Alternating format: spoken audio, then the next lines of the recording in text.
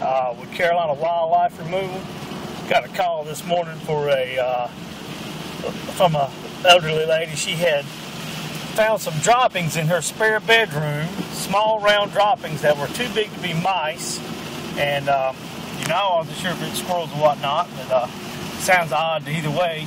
And uh, she wanted me to come over and check it out. And we're on our way now, and I got a call just a few minutes ago that that it has turned out to be a rabbit. She has a wild cottontail rabbit running loose in her house.